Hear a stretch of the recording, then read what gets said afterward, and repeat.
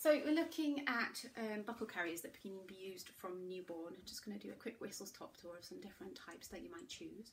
What we always want from a buckle carrier is an adjustable body panel so that our babies can have support as they grow. We'd like something that gets narrower uh, for a newborn and wider for an older baby so that our babies can continue to have good support from the back of the knee to the back of the knee. And we'd like something that has some support up to the back of the ear. Um, we should always be able to look down and see our baby's mouth and nose are free of fabric and give them a nice nice easy kiss on top of the head. Uh, this is the Izmi baby carrier. It's lightweight on the shoulders. Um, it folds down nice and small and it's a kind of birth to walking kind of span. Um, it can do inward facing, outward facing, hip carries and back carries as babies grow. So it goes on in exactly the same way um, as something like the Beco Gemini, which I'm going to put on now and we'll see and have a look at that one. Um, so you can start to see that we're looking at newborn carriers that can be used without um, purchasing an infant insert or an infant cushion separately. The aim of that is to make them intuitive so that we can put baby where we want them to be, use the carrier to keep them there, which is something that we say a lot. You can start to see with the Beco Gemini that this is a nice wide seat for an older baby, but for a newborn we're going to make it narrow at the base. And this carrier will go on very similarly to the previous carrier, which was the Izmi. We put baby where we want them to be, snuggle them against our chest. They usually pop their own arms up, but the dollies don't. Pop baby exactly where we'd like them to be. We roll the panel up onto baby's back, nice and high. One strap goes onto my shoulder, one strap goes onto my shoulder, and we bring our hand round to make a large X at the back there. Now, when I carry a carrier tightens around both of you at the same time, like this, it brings baby's weight up and in, makes baby's weight feel like it's a part of your weight, bring it round and click nice and snug. And it helps baby to feel like they're laid on your chest which is exactly where they want to be. There's nothing in between you.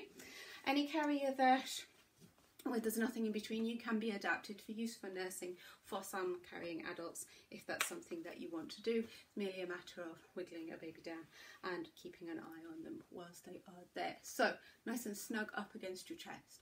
Um, again, a headrest that can pop her up, but we always want to make sure baby's mouth and nose is free and we can look down and give them a nice easy kiss on top of their head. So carrier like this one um, is very similar in form, uh, in, in, fit to how the previous carrier went on. So the Gemini and the Izmi are quite similar to one another um, in terms of how they go on, but they're quite different in terms of how they fit. One has quite a structured waistband and quite a lot of padding, that's the Gemini.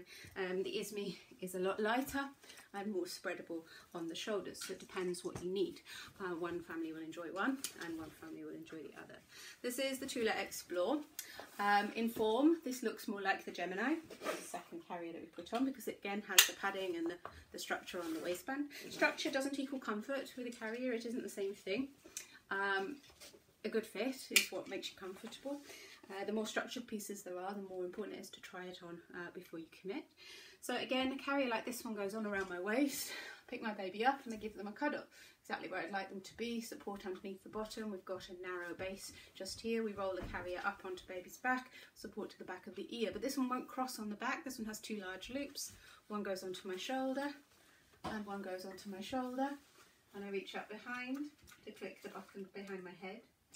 And when I tighten my carrier, I pull down to move the buckle down and I pull forwards to tighten up around our baby. So there's a hood on this one and a headrest underneath. The hood will remove if you don't um, use it very much. You can take it off and store it in the pocket on the waistband. Um, but we should always have our baby in exactly that same position. Again, access to their hands, look down, see the mouth and nose nice and snug. And that tightening mechanism that wraps baby's weight around us and makes it feel like it's a part of our body um, is always a nice thing to have. It's the way that, that it passes the weight down through your pelvis towards the ground and takes any weight at all away from your shoulders. It's a very natural way of holding on uh, to your infant. So a carrier like this one to take it off, my reaches are pulling and I can't reach that, so hoik it up into the air, unclick and take it down. And there's the baby. And then take it off. Baby. So that's the Tula Explore. The Tula Explore will do